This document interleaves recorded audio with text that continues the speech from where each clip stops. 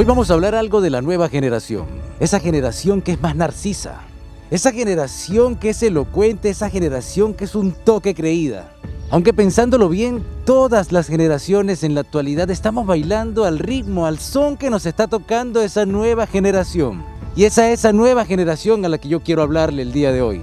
Esa nueva generación que es más narcisa, que es más esbelta, que obviamente por ahora son más jóvenes. Esa generación que se siente más importante y más indispensable que todos nuestros adultos mayores.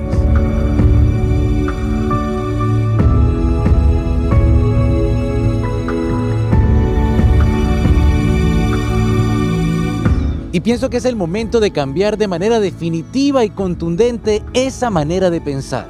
Pienso que deberíamos comenzar a tocar con nuestros jóvenes esa nueva generación. Muchísimos más temas importantes como por ejemplo el respeto. Y no solamente tocarlo, hacer que se logre poner en práctica. El respeto. El respeto por todos nuestros mayores, el respeto por esas arrugas, el respeto por esas canas, esas arrugas que cuentan mil y un batallas, mil y un historias, algunas ganadas, otras que dejaron muchísima más sabiduría, pero todas valiosas, porque ninguna fue en vano, porque en ningún momento se perdió.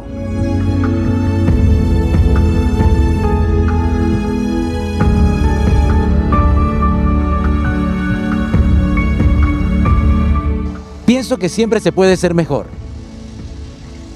Creo firmemente en que debemos empezar a valorar a un nivel superior todos esos consejos que solamente los años te permiten dar. Es que nuestros ancianos, es que nuestros viejitos son ese regalo que nos ha dado la vida para llenarnos no solamente de respeto, sino para llenarnos de consejos y también de amor.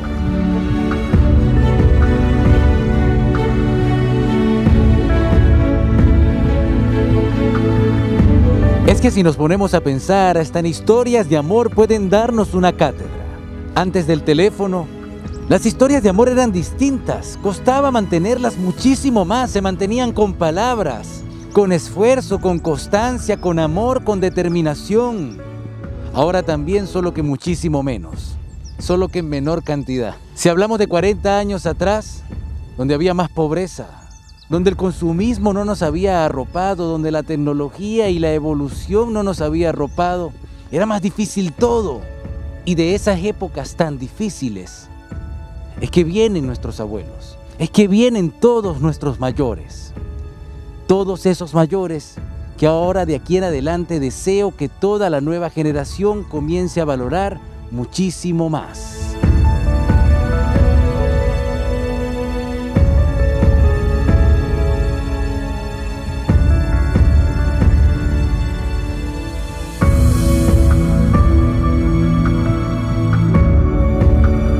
Las opiniones son importantes. No quiere decir que la opinión de uno de nuestros ancianos esté obsoleta. No quiere decir tampoco que la opinión que de un joven de esta sociedad carezca de sabiduría por su edad. Todas son importantes. Cada opinión que nos dé un niño debe ser escuchada con mucha atención porque contiene algo de lo cual carecemos gran parte de la humanidad, que es amor y también inocencia. Cada opinión que da un joven que se está enfrentando a nuevas responsabilidades también debe ser escuchada y valorada.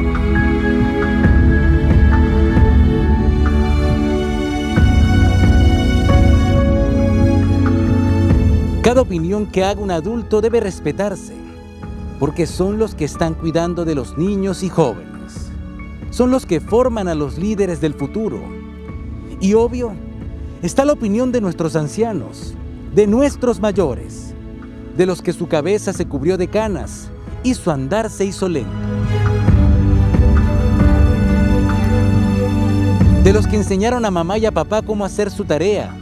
Está la opinión de todas las abuelas y de todos los abuelos que nos hacen querer detener el tiempo para que no se vayan, sin antes amarles por lo que representan en la humanidad, en mi vida en tu vida. Una oración en especial por todos aquellos que ahora se encuentran en el cielo. Y pido mucho amor y respeto para todos aquellos que aún se encuentran acá en la tierra.